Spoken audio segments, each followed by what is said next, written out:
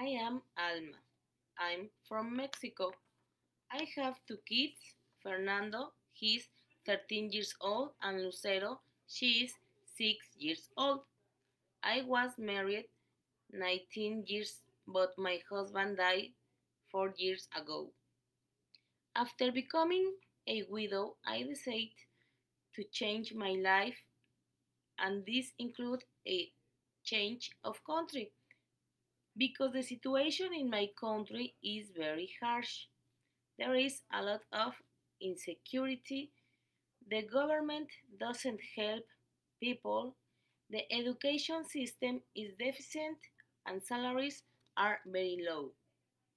We are being living 15 months here in this country and it has been very difficult to adapt to the language and to the long and cold winter. But this time has helped me to be calmer and more relaxed.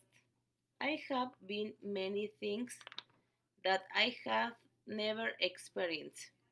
My children love snow and enjoy it as much as summer. Now I am married to a good man who loves me and loves my children.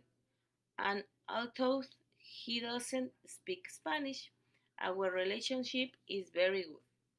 I want a better life for my children, better education, and better opportunities. At this moment, my priority is my family. I can work hard to get everything I want and be in direct contact with nature and forget the pollution and the traffic that exists in Mexico City. I was born in Mexico City and I lived there for 40 years.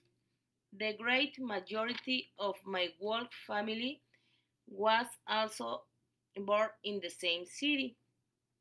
I must say that living in Mexico has only affected us in a passive way because we are all honest and hard-working people without any type of vice. The story of how I met my husband is very simple. It was here in Anchorage, Alaska. My uncle introduced him to me and it was almost love at first sight. The best experience we had as a family was the first time we visited the United States because we went to Disneyland, SeaWorld, Legoland, and also visited some cousins who lived in San Diego and Los Angeles. During this time, we have been living in this city, Anchorage.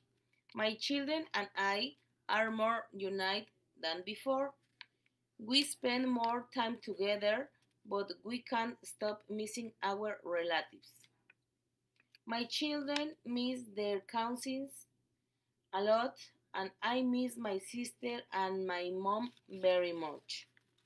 I want my family to know that we are very happy to have been able to change life completely.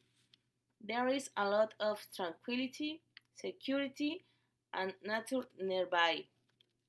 Living in the United States fulfilled a dream that I, wa- I had since I was a child and now I have been able to achieve this thanks to God. The last thing I would like to add in that is that my big dream is for my children to be happy, independent, and to study a career of in order to work in the future and my personal dream is to work, have a house and live the rest of my life with my husband, Chris.